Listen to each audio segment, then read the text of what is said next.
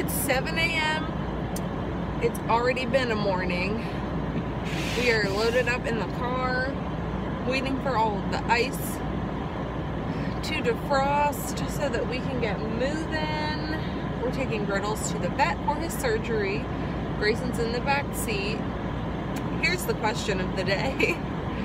How do you handle cold weather with a child? So they're not supposed to be in a coat, which I understand. I've seen those videos where they do the crash test dummies of children in coats and how they like slide out of their car seat. So I get it. Do you do the coat shuffle? Do you use a blanket? Do you just run? Do you shove them under your coat? What do you do? Um, I do a combination because I found the whole coat shuffle thing, it like makes no sense if you're spending a minute with the door open trying to stick their coat on. So I don't know if people go in on the other side of their car to get their kid's coat on. I don't know.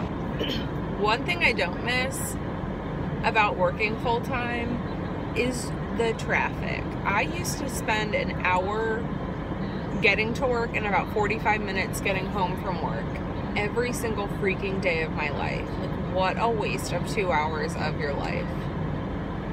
And it looks like it's gotten even worse. I do not miss this at all. This would like, oh man, traffic, like, I'm one of those people that just can't, it like agitates me to no end. One thing I do miss though is listening to the Bobby Bones show. I'm listening to them right now. Did anyone watch him on Dancing with the Stars? I never watched Dancing with the Stars and I love Bobby Bones and I think Grocery Store Joe from The Bachelor is so funny. So I basically watched it for them. And I watched the whole season and I really enjoyed it. Oh, there goes the cup. Okay, I'm making buffalo chicken. I don't know, but the recipe's on my phone, so I can't even show you. I didn't think about that. Let me look at it. Okay, I figured it out. So all you need is 14 ounces of chicken and a fourth cup of buffalo sauce.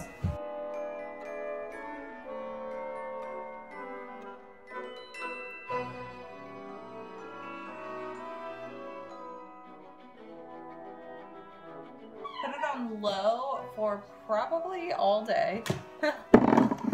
and then we'll get back to the rest. It includes cheese and ranch. And then you dip it in the veggies, huh? Mmm. Two passies, huh? Okay, I'm getting ready and I wanted to just share one quick thing. If anyone has blonde hair, my hairdresser recommended this IGK Mixed Feelings Leave-In Blonde Toning Drops. It's like purple, it's purple toning drops that you can mix in, like if you have a leave-in treatment, you mix it in with that. I probably do it wrong, but it, look at that. You just drop it into your hand. You're supposed to mix it with product, but I already put my product in. And, what? Oh. You just rub it in your hair and last time I went to see her um, to get a haircut and to get a tone because we're trying to kind of stretch me between hair appointments, um, she was like, oh wow, it's not that bad. Um, so this stuff really helps. I recommend it. Sometimes I put it in um, like leave-in conditioner, like the Olaplex uh, number three protein treatment that you leave in for an hour and I just put a bunch of this in it so it's like toning my hair for an hour and it's really kept the brassiness out. I've been, whew, I've been really impressed with it.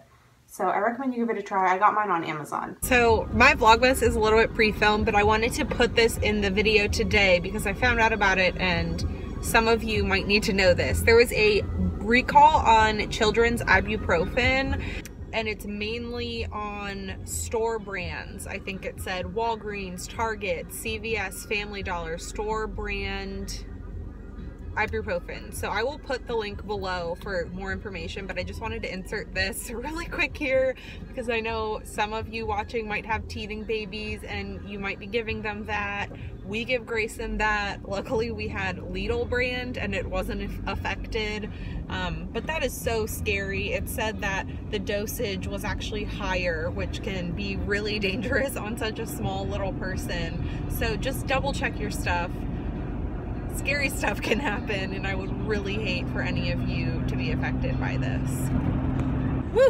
All right, on the way to the chiropractor. feel like we're just running a zoo today. I'm on the traction table. Mm. Someone's enjoying a cheese stick. This is like heaven. Oh, there's stuff on my teeth. Sorry about that. Dad's home. I'm waiting in the car until he's done because it's really loud. Yeah, we are still eating leftovers. It is, uh, what is this? Five days post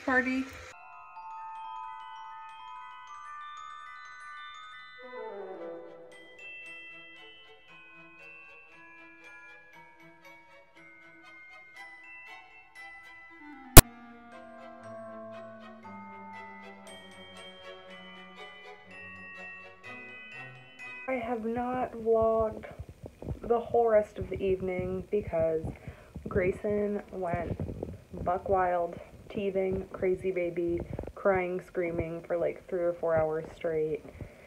Nothing seemed to help, so I'm exhausted. She's finally asleep. So I'm gonna get some sleep and I'll see you tomorrow. Bye.